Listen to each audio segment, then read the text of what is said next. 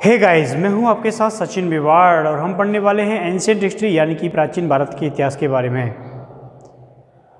आज हम इस लेक्चर में सम्राट अशोक के बारे में चर्चा करने वाले हैं, सम्राट अशोक के बारे में पढ़ने वाले हैं, सम्राट अशोक के बारे में, उनके अभिलेखों के बारे में जानकारी प्राप्त करने वाले हैं।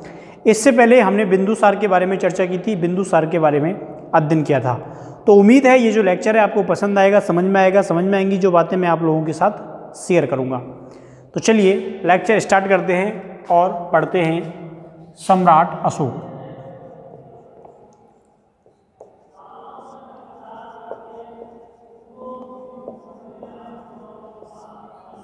सम्राट अशोक के बारे में जानने वाले हैं। तो आपको मालूम होना चाहिए कि सम्राट अशोक का शासनकाल कब से कब तक है? तो दो से लेके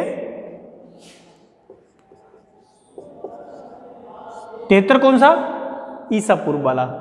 ठीक है? दो से लेके और 232 या 36 या 34 क्या आंसर राइट है? 36 ठीक है? दो से लेके और 236 ईसा पूर्व।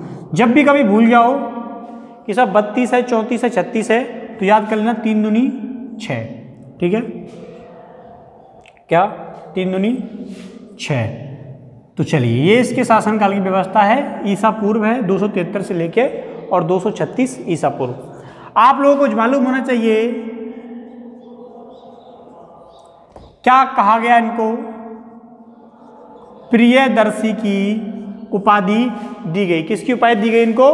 प्रियदर्शी की उपाधि दी गई और अशोक का राज्यभिषेक कब हुआ था? अशोक का राज्यभिषेक होता है, दो सौ उनसठ ईसा पूर्व में। अशोक का राज्यभिषेक कब होता है? तो अशोक का राज्यभिषेक होता है दो सौ उनसठ ईसा पूर्व में। ठीक है? उपाधि क्या दी गई? प्रियदर्शी की उपाधि दी जाती है। शासन अवधि क्या है? दो सौ तिहत्तर से लेकर दो सौ छत्तीस ईसा पूर्व है। और और राज्यभिषेक कब हुआ? तो दो सौ उनसठ ईसा पूर्व में हुआ, है ना? यहाँ लिख लीजिए इसको। राज्यभिषेक। राज्यभिषेक कब हुआ? तो राज्यभिषेक दो उनहत्तर ईसा पूर्व में जाके सम्राट अशोक का राज्यभिषेक किया जाता है। बात समझ में आएगी नहीं बताओ दो सौ उनहत्तर ईसा पूर्व में सम्राट अशोक का क्या किया जाता है? राज्यभिषेक किया जाता है।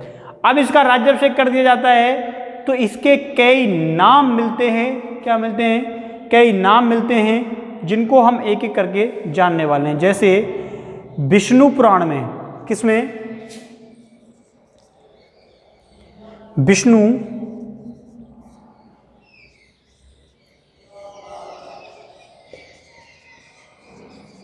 पुराण में इनका क्या नाम मिलता है? तो विष्णु पुराण में इनका नाम मिलता है अशोक वर्धन। क्या नाम मिलता है? अशोक वर्धन। ठीक है, अशोक वर्धन नाम कहाँ मिलता है? तो अशोक वर्धन नाम विष्णु पुराण में मिलता है। इसके अलावा ब्राबू लेख में क्या मिलता है? ब्राबू लेख में क्या मिलता है? ब्राबू लेख में इनका जो नाम मिलता है, वो क्या मिलता है? वो मिलता है मगधिराज। क्या मिलता है? मगधादी राज ठीक? क्या नाम मिलता है? तो मगधादी राज मिलता है, वो कहाँ मिलता है? ब्राबू लेख में मिलता है। इसके अलावा प्रियदस्सी राजा मिलता है बहावर अभिलेख में।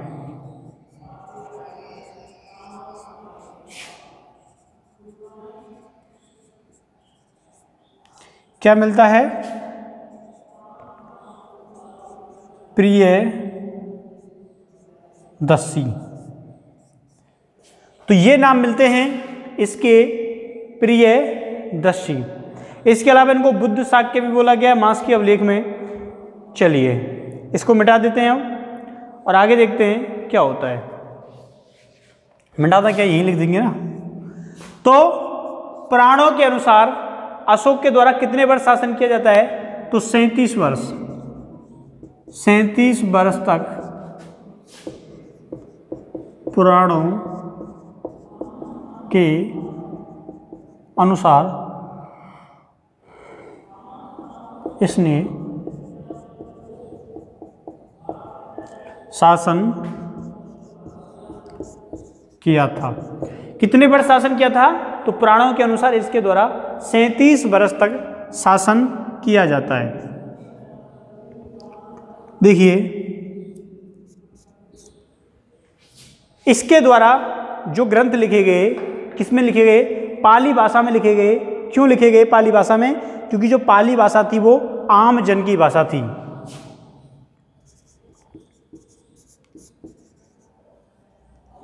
इसके द्वारा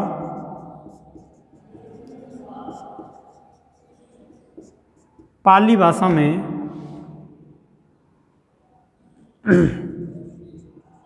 लेख, ठीक है? शिलालेख तो लेख उत्कीर्ण करवाए गए। करवाए गए, क्योंकि ये आम जन की भाषा थी। क्या थी? ये आम जन की भाषा थी। बात समझ में आई कि नहीं बताओ आप लोगों को? ठीक है, मिटा दें इसको। तो अगर किसी को स्क्रीनशॉट लेना है तो वो जल्दी से स्क्रीनशॉट ले सकता है। फिर हम इसको मिटा देंगे।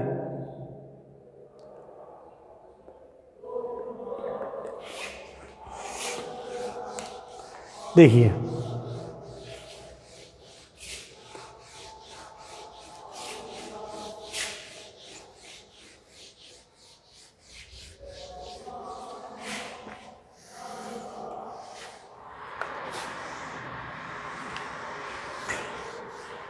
तो अशोक के अवलेख को सबसे पहले किसने खोजा था? टी पैंथेलर टी पैंथेलर के द्वारा अशोक के अभिलेख को सबसे पहले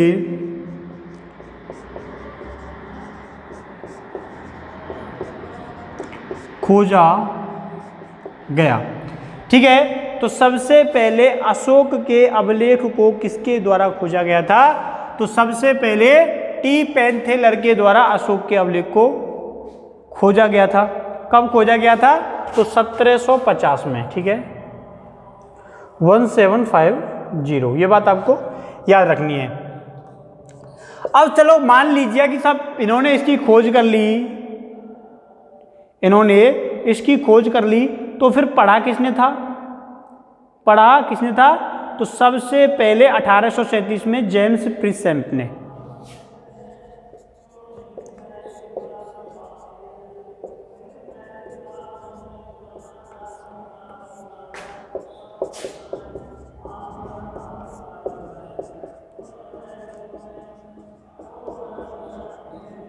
ठीक है? किसके द्वारा पढ़ा गया? जेम्स प्रिंसेम के द्वारा इसको पढ़ा गया था। कब पढ़ा गया? अठारह सौ सैंतीस में पढ़ा गया। अब आप लोग सोचोगे, साहब, इन्होंने कैसे पढ़ दिया था? तो ये कोलकाता में उस समय टकसाल अधिकारी थे। क्या थे? टकसाल अधिकारी के पद पर नियुक्त थे। तो अठारह सौ सैंतीस में इनके द्वारा क्या कर दी जाती है? इसको सॉल्व कर दिया जाता है। इसको डिकोड कर दिया जाता है, जिसको पहले कोई पढ़ नहीं पा रहा था। ठीक है? चलिए। अब देखिए, इसके बाद 1840 में एक और नॉरिस ने प्रथम बार सहबाजगढ़ी लेख को पढ़ा था, ठीक है? 1840 में, कब की बात कर रहा हूँ मैं? 1840 की बात कर रहा हूँ, नेरिस ने किसने? नेरिस ने सहबाजगढ़ी अभिलेख को पढ़ा। 1840 में किसके द्वारा पढ़ा गया? तो नैरिस के द्वारा पढ़ा गया। कौन सा पढ़ा गया? सहबाजगढ़ी को पढ़ा गया। ठीक है, बात समझ में आई आप लोगों के? चलिए। अब देखिए, हम बात करते हैं इसके कुछ शिलालेखों के बारे में। इसके कुछ शिलालेखों के बारे में।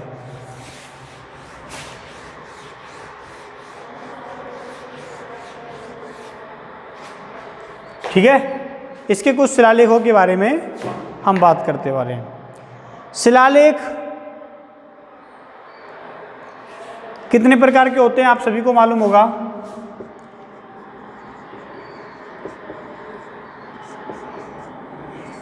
दो प्रकार के होते हैं। एक दीर्घ शिलालेख होता है और एक कैसा होता है? एक लघु शिलालेख होता है। एक कैसा शिलालेख होता है? एक दीर्घ शिलालेख होता है और एक लघु शिलालेख होता है।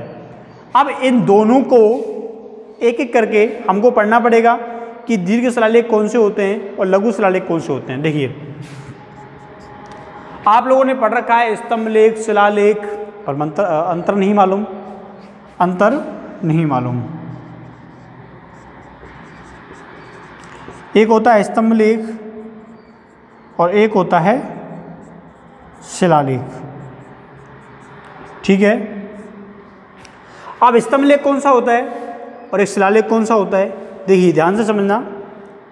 स्तंभ लेख वो लेख होता है जो लिखा तो पत्थर पे ही जाता है, लेकिन बड़े छोटी चीज़ों के ऊपर ये उल्लिखित होता है। जैसे कोई पिलर हो गया, स्तंभ का पता चल रहा है ना? ऐसे कोई पिलर हो गया, स्तंभ हो गया, ठीक है? इसके ऊपर इसको क्या कर दिया? अंकित कर दिया। किसी मीनार के खंभे हो गए।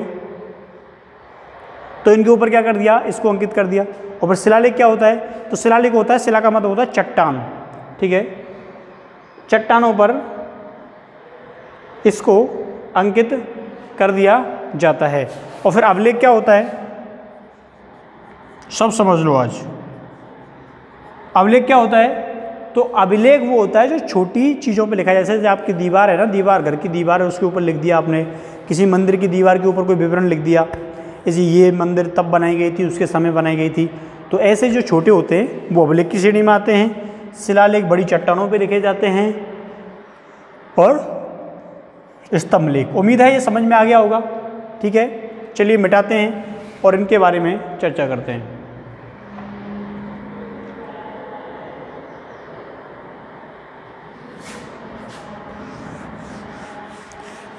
अब देखिए, दीर्घ शिलालेख और लघु शिलालेख। अब हम बात करने वाले हैं दीर्घ शिलालेख के बारे में। किसके बारे में? दीर्घ शिलालेख के बारे में।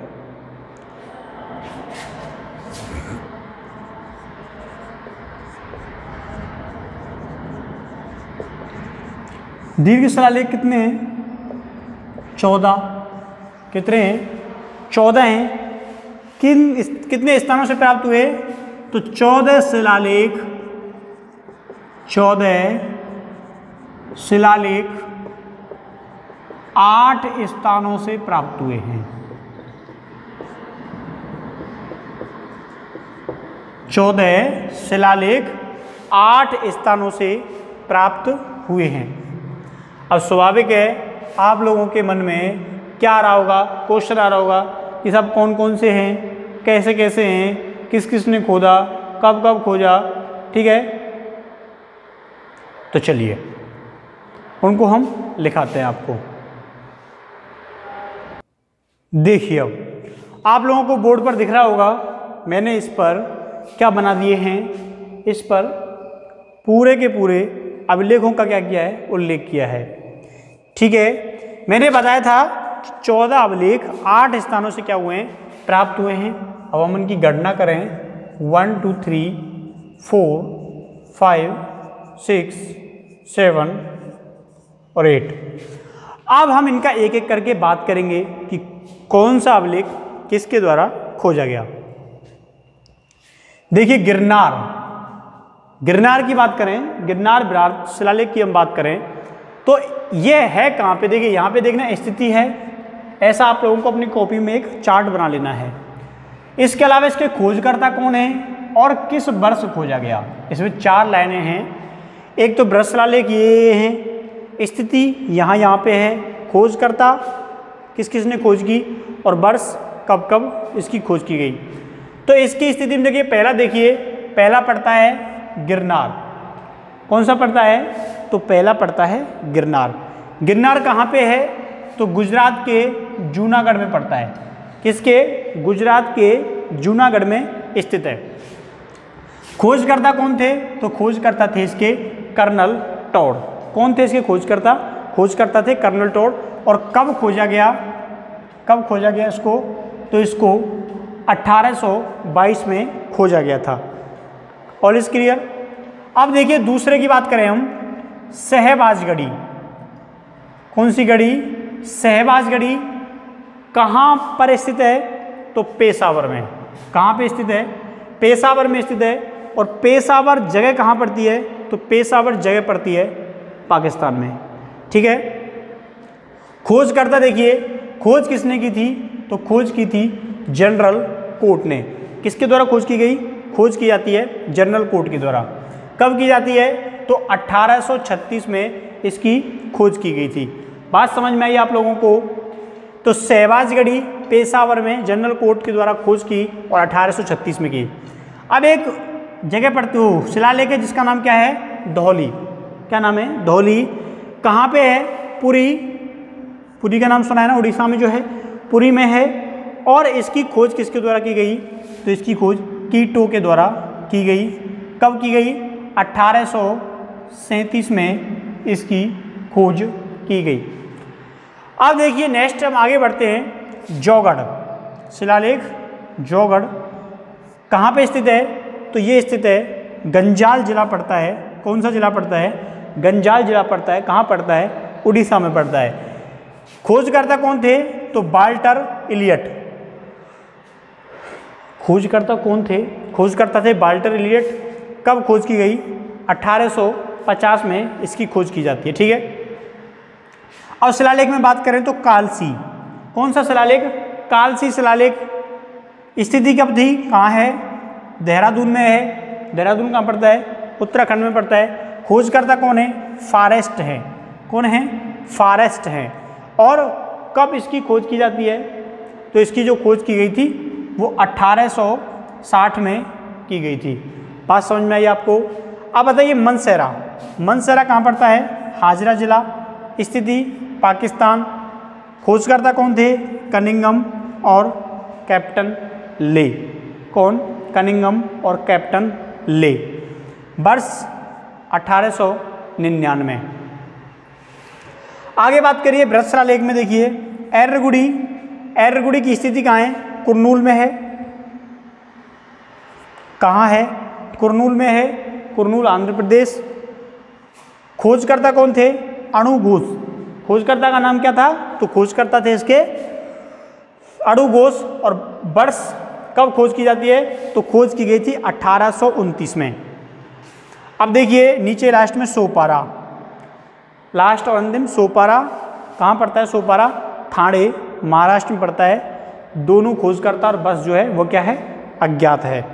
तो इस प्रकार आप लोगों के ब्रश शिलालेख का पूरा डायग्राम क्या हो गया? क्लियर हो गया, ठीक है? बात समझ में आई आप लोगों को? तो ब्रश शिलालेख वापिस एक रिवाइज करता हूँ, ब्रश शिलालेख गिरनार में पहला है तो जगह क्या है? जूनागढ़ है, खोजकर्ता कर्नल टोड़ हैं वर्ष 1822 है। दूसरे हैं सहबाजगढ़ी स्थिति का है? पेशावर में है, खोजकर्ता जनरल कोर्ट हैं वर्ष 1836 में। शिलालेख दौली स्थिति पूरी पूरी पड़ता है, उड़ीसा में, खोजकर्ता कीटू वर्ष 1836 में। शिलालेख है जौगढ़। स्थिति है इसकी। गंजाल जिला उड़ीसा खोजकर्ता है इसके बाल्टर लियट और वर्ष 1850 में। अगले शिलालेख की बात करें तो काल कालसी शिलालेख जगह जो शिलालेख का नाम है, जगह का नाम है देहरादून, उत्तराखंड। खोजकर्ता है फॉरेस्ट और वर्ष 1860 शिलालेख की बात करें तो मनसहरा जगह है हाजरा जिला, पाकिस्तान। कनिंगम और कैप्टन ले ने इसकी खोज की थी। कब की थी? अठारह सौ निन्यानवे में। एर्रगुड़ी शिलालेख है, कुरनूल, आंध्र प्रदेश में पड़ता है। अणु घोष के द्वारा खोज की गई अठारह सौ उनतीस में।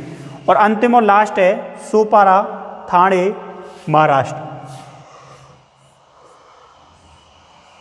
और खोजकर्ता और वर्ष क्या हैं? अज्ञात हैं, इसलिए उनकी जानकारी उपलब्ध नहीं है। बताओ, समझ में आया कि नहीं आया आप लोगों की ठीक है? मिटाएँ फिर इसको। चलिए, इसको क्या कर देते हैं? रफ कर देते हैं।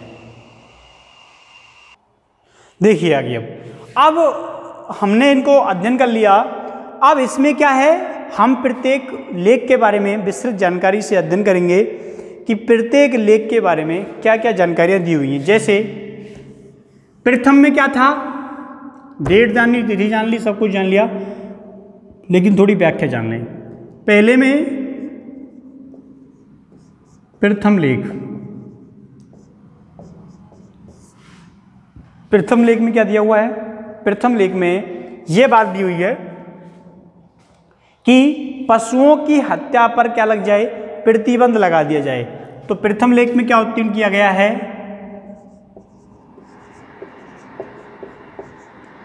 पशुओं की हत्या पर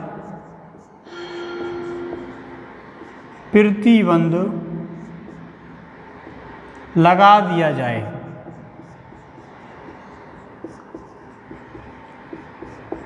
क्या लगा दिया जाए? प्रतिबंध लगा दिया जाए। किस पर प्रतिबंध लगा दिया जाए? तो पशुओं की हत्या पर प्रतिबंध लगा दिया जाए। पशुओं की हत्या से संबंधित कहाँ से जानकारी मिलती है? तो प्रथम लेख से जानकारी मिलती है। इसने एक बात कही है। अब देखिए, जैसे इसने ये आदेश निकाला तो बहुत सारे समाज से उनका बहुत अच्छा काम है। पशुओं की हत्या पर रोक लग जानी चाहिए, लेकिन कुछ ने विरोध भी किया था। ठीक है? बात समझ में आई आप लोगों के? चलिए, अब देखिए आगे तो पशुओं की हत्या पर क्या लगा दी जाए? प्रतिबंध लगा दिया जाए। इसने ये कहा था कि तीन से ज़्यादा, कितने से ज़्यादा? तीन पशुओं से ज़्यादा, तीन पशुओं से ज़्यादा, तीन पशुओं से ज़्यादा पशुओं की हत्या नहीं की जाए। तीन पशुओं से ज़्यादा पशुओं की हत्या नहीं की जाए। बात समझ में आई? नहीं की जाए। किया गया, शिव उल्लेख किया गया कि तीन पशुओं से ज़्यादा, तीन पशुओं से ज़्यादा पशुओं की हत्या नहीं की जाए। समझ में आई बात आपको?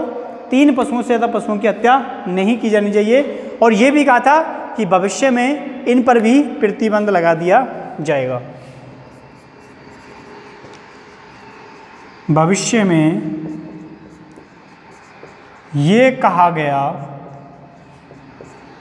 कि इन पर भी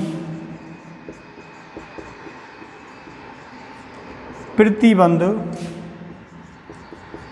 लगा दिया जाएगा, ठीक है? तो भविष्य में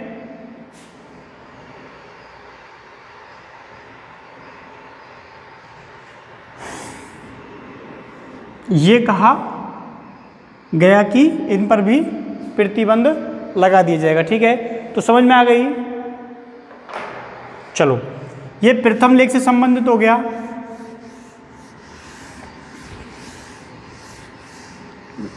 ये क्या हो गया? प्रथम लेख से संबंधित हो गया। अब देखिए दूसरा क्या कहता है?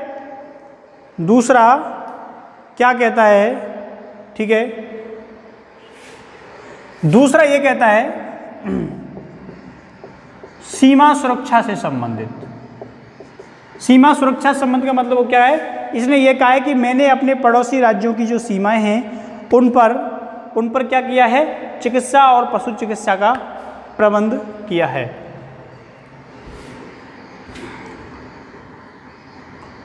तो दूसरे लेख के अनुसार, दूसरे लेख के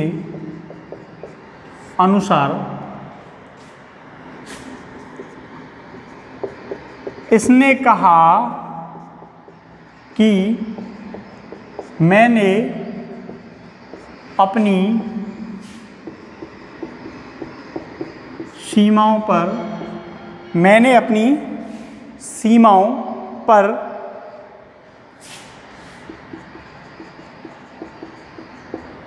चिकित्सा आदि का प्रबंध किया है। तो इसने कहा कि मैंने अपनी सीमाओं पर चिकित्सा आदि का क्या किया है? प्रबंध किया है। बताइए बात समझ में आई कि नहीं आई? ये जानकारी कहाँ से मिलती है? तो ये जानकारी दूसरे अभिलेख से प्राप्त होती है। किससे प्राप्त होती है? दूसरे अभिलेख से प्राप्त होती है। ठीक है?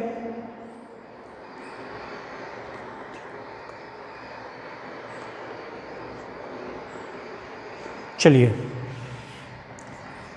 तीसरे लेख में क्या लिखा हुआ है? तीसरे लेख में लिखा हुआ है, इसने ये बात बोली थी कि जो रज्जुक हैं, यानी कि वो क्या करें? प्रादेशिक क्षेत्रों में जाएँ और जनता की समस्याएँ सुने, उनको क्या परेशानी है? तीसरे लेख में अशोक ने कहा कि रज्जुक, प्रादेशिक क्षेत्रों में जाएँ। प्रादेशिक क्षेत्रों में जाएँ और आम जन की, आम जन की शिकायतें सुने। क्या बात बोली? ये बात बोली कि अशोक ने कहा था कि रज्जुक जो है वो प्रादेशिक क्षेत्रों में जाएँ और आम जन की क्या सुने? समस्याएँ सुने। तो ये दूसरे और तीसरे लेख के बारे में महत्वपूर्ण जानकारी है। ठीक है, जल्दी से इसका स्क्रीनशॉट लीजिए, फिर मिटाते हैं।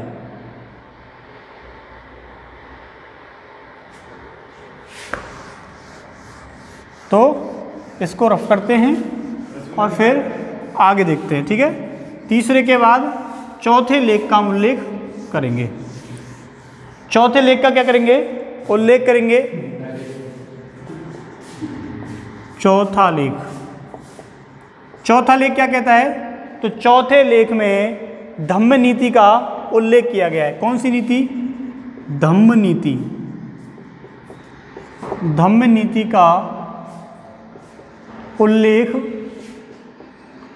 किया गया है। अब धम्मनीति का मतलब क्या होता है? धम्मनीति का मतलब होता है कि प्रत्येक व्यक्ति जो है, वो शिष्टावान बने सीलवान बने, आदर्शवादी बने। तो ये क्या है? धम्मनीति की विशेषता है।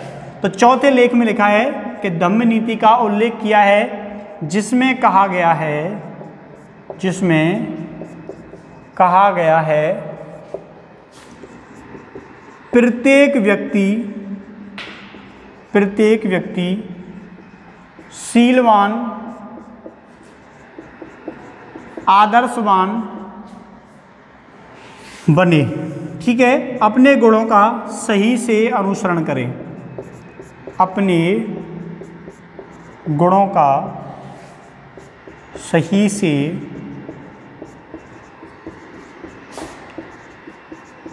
अनुसरण करें। बात समझ में आई कि नहीं आई? तो ये बात कहाँ बोली गई है? ये बात चौथे लेख में बोली गई है। ठीक है?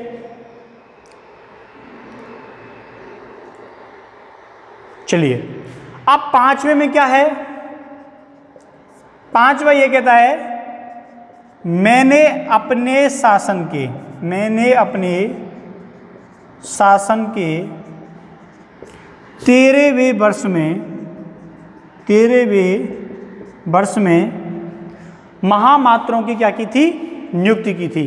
किन की नियुक्ति की थी? तो मैंने धम्म महामात्र जो कि जाते हैं ना, संदेश देने जाते हैं, लोगों को शिक्षा देते हैं तो इनकी नियुक्ति की। तेरहवें वर्ष में धम्म महामात्रों की नियुक्ति की थी। समझ में आ गई? धम्म महामात्र क्या होते हैं? धम्म महामात्र वो होते हैं जो कि धर्म के प्रचार प्रसार से रिलेटेड होते हैं। तो जल्दी से इसको उतारिए, फिर इसको क्या करते हैं? रफ करते हैं।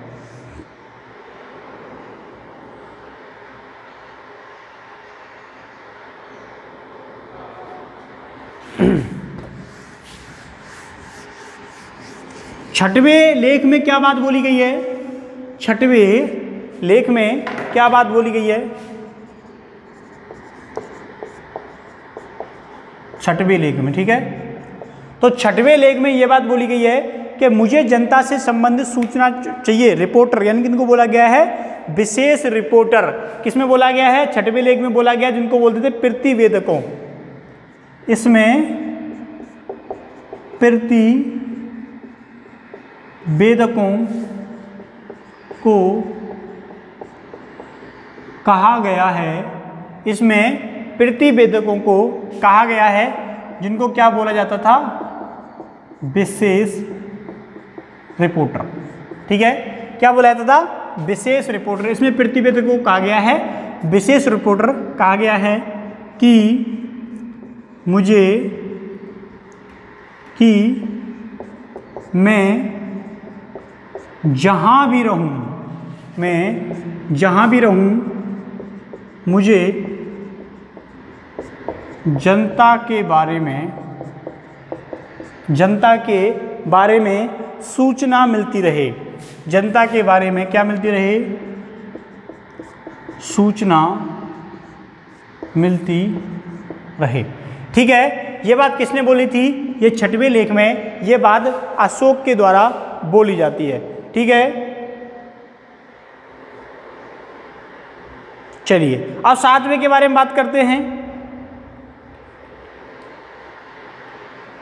सातवें लेख में बोला गया है, जब सब जगह संप्रदायों के मनुष्य निवास करें, क्योंकि वे संयम और आत्मशुद्धि चाहते हैं। तो सातवें बात, सातवें लेख में ये बात बोली गई है। क्या बात बोली गई है? सब जगह। ठीक है?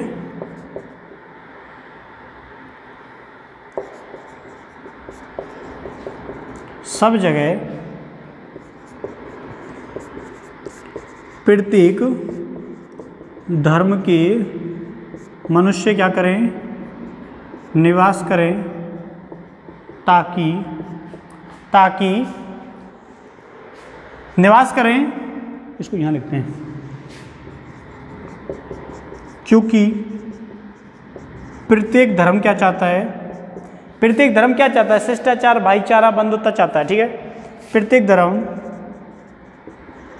शिष्टाचार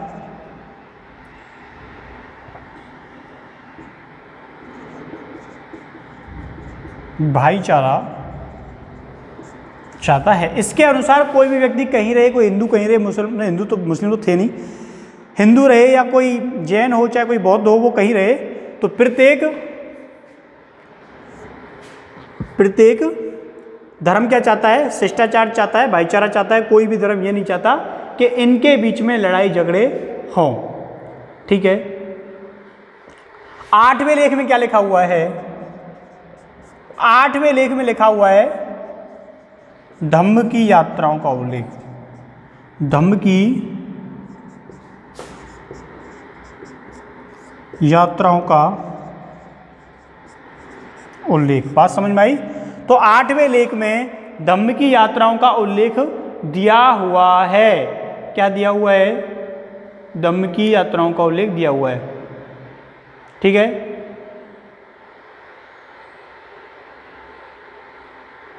ठीक है अब देखिए नौवे मंडल में क्या लिखा हुआ है? नौवे में नौवे में यह बताया गया है कि जो दास हैं, जो नीची जाति के लोग हैं, जो जिस प्रकार की श्रेणी के लोग हैं, उनके साथ शिष्टाचार पूर्व व्यवहार किया जाए। दासों के साथ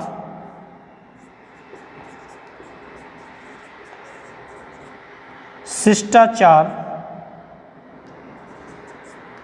शिष्टाचार, पूर्ण व्यवहार हो। कैसा व्यवहार हो? शिष्टापूर्ण व्यवहार हो। चलिए, मिटाएँ फिर इसको, जल्दी से, फटाक से उतार लीजिए, स्क्रीनशॉट लीजिए, फिर मैं इसको मिटाता हूँ।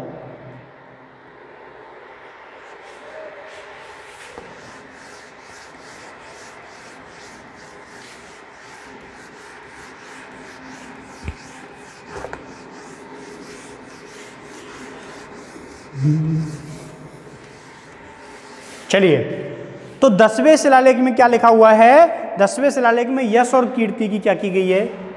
दसवें। शिलालेख में क्या हुआ है? यश और कीर्ति की निंदा की गई है। यश और कीर्ति की क्या की गई है? निंदा की गई है। बात समझ में आई आप लोगों को? तो यश और कीर्ति की निंदा कहाँ की गई है? दसवें शिलालेख में यश और कीर्ति की निंदा की गई है, ठीक है? इसके अलावा ग्यारहवें इसके अलावा ग्यारहवें में क्या किया गया है? ग्यारहवें शिलालेख में यह बात बोली गई है, ग्यारहवें शिलालेख में यह बात बोली गई है कि धम्मदान धम्मदान सबसे श्रेष्ठ दान है। क्या बात बोली गई है? यह बात बोली गई है धम्मदान है, वो क्या है? सबसे श्रेष्ठ दान माना गया है। बारवा शिलालेख क्या कहता है? तो बारवा शिलालेख क्या कहता है? बारवा शिलालेख इस बात का उल्लेख करता है कि जो धार्मिक सहिष्णुता है, वो क्या है? वो क्या है? श्रेष्ठ है। ठीक है? वो क्या है? सर्वश्रेष्ठ है।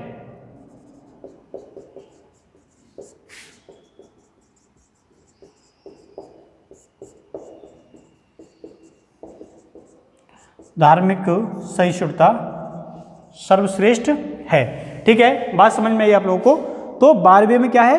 क्योंकि जो प्रत्येक धर्म है, प्रत्येक धर्म है, उसमें यही बात बोली गई है कि सहिष्णुता जो है, वो क्या है? सर्वश्रेष्ठ है, भाईचारा बंधता किसी भी धर्म के प्रति कोई किसी के द्वारा अत्याचार नहीं होना चाहिए। अब देखिए, तेरहवें जो है, वो सबसे बड़ा लेख है। तेरहवा जो है, तेरहवा। तेरहवा क्या है? सबसे बड़ा लेख है ये। सबसे बड़ा लेख है और इसमें कलिंग युद्ध का उल्लेख है। कलिंग युद्ध का उल्लेख है। ठीक है? तो कलिंग युद्ध का क्या दिया हुआ है? उल्लेख दिया गया है। किसमें दिया हुआ है? तेरहवें में दिया हुआ है। ठीक है? चलिए। अब देखिए लास्ट देखिए। लास्ट में क्या है?